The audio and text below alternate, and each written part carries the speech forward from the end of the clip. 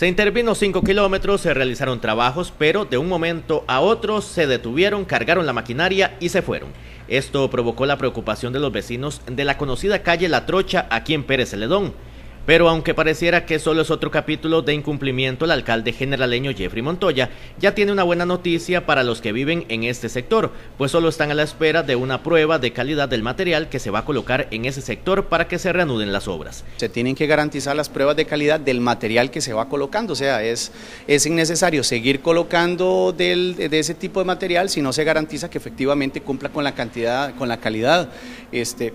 que exige tanto el MOB, BID y, la parte de la unidad ejecutora. Así que en este momento se encuentran, eh, se están haciendo algunas pruebas, eh, análisis como tal del, material, de la plasticidad y algunas otras características que intervienen en eso y por lo tanto entonces en este momento se, se encuentra detenida las labores para proseguir en, en el resto. Estas pruebas de calidad son indispensables para que se aplique el mejor material. De hecho, vemos que hemos tenido eh, lapsos ahí en donde pues la empresa privada en esto tiene una, la administración de equipo y sabiendo que estaba en pruebas de calidad, pues ellos retiran los equipos para aprovecharlos en otras partes del país, sabiendo que es una empresa grande que tiene muchos compromisos contractuales, mucho con el Estado y de índole privada, así que pues eh, es comprensible el desplazamiento que haya y, pues la preocupación de mucha gente en el momento en que ya cargaron las máquinas en los Lobois y, se las, y las retiraron, pero esperamos que pronto esté la resolución en cuanto a lo que son son estas pruebas que se están realizando este, para ya reiniciar las labores. Otra de la queja de los vecinos de La Trocha es la cantidad de polvo que se hace y que provoca hasta problemas respiratorios en las personas. He estado aplicando un poco en el tramo específicamente del kilómetro 200, ¿verdad? Que es el que deben garantizar de que cumpla con las condiciones ahí que se exijan, no así con el resto del tramo.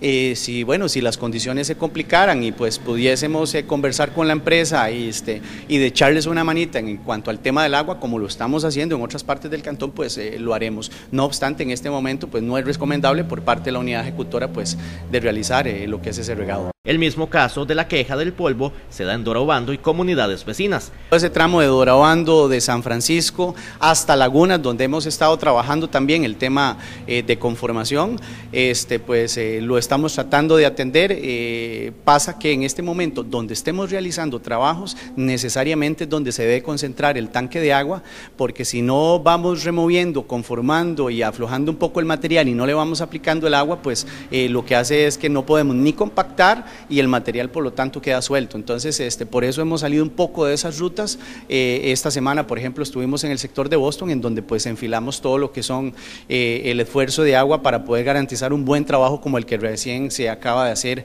en Calle La Unión, acá en, en Boston. Hay que esperar las pruebas de calidad del material para ver si se continúa con los trabajos en la famosa trocha.